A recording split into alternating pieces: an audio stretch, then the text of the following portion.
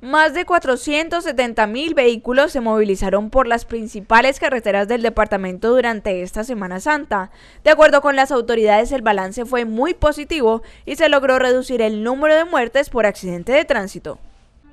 En esta semana se impusieron 2.014 comparendos, 824 menos que el año anterior. La policía habilitó tres puntos de descanso en los principales ejes viales del departamento, donde se adelantó la campaña Minuto gratis, Minutos de vida.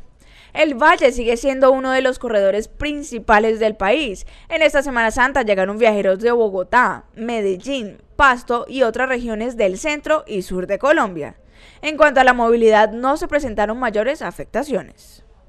Respecto a los accidentes, se registraron 15, un caso menos que el 2015, en donde se registraron 16 choques. Para esta misma fecha, el año pasado se impusieron 2.200 comparendos. Este año, 15 personas fueron multadas por conducir en estado de embriaguez por carreteras del Valle del Cauca.